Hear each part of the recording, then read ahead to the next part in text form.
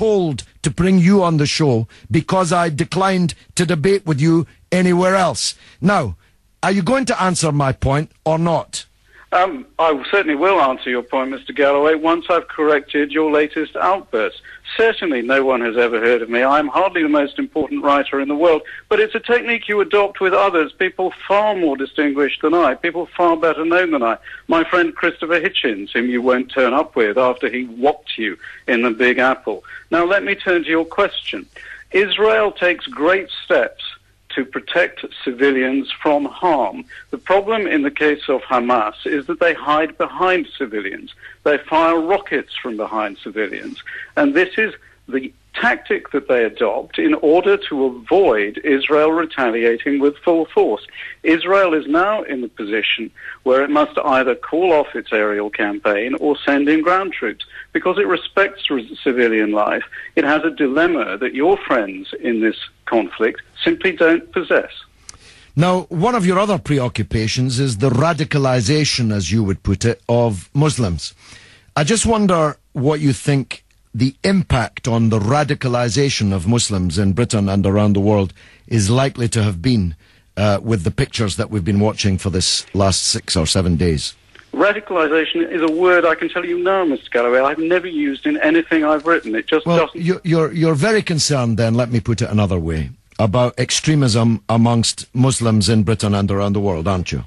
I'm concerned about theocratic extremism wherever yeah. it comes from. What if that th- is the question. Okay, my question is, what do you think the impact on? I think your phrase was theocratic uh, extremism. What do you think the impact on that will have been of the pictures of the last seven days?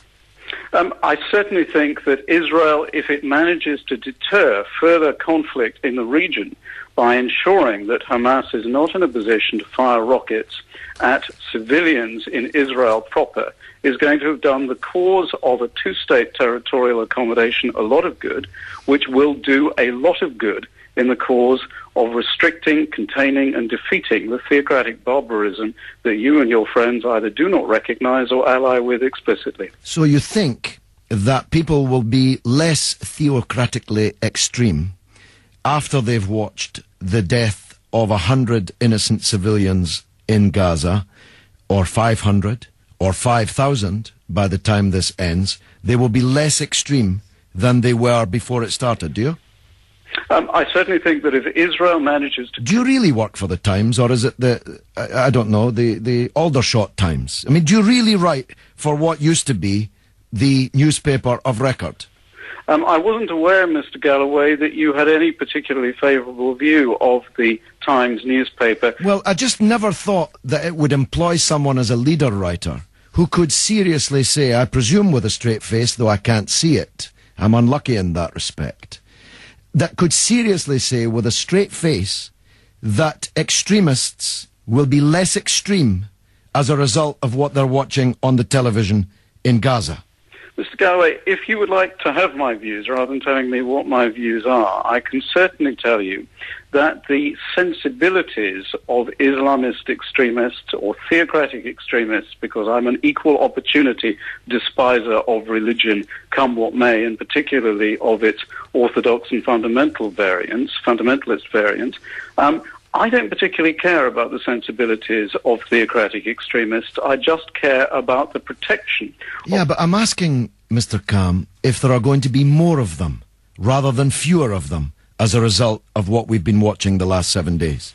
Um, I think that the most important thing uh, in deterring theocratic extremism is for democratic states to prevail in their struggle against terrorism and for there to be a Pacific two-state territorial accommodation between a secure Israel and a sovereign Palestine. Well, last word to you. Why was there no two-state solution in the long years before Hamas became as powerful as they became when they won the election?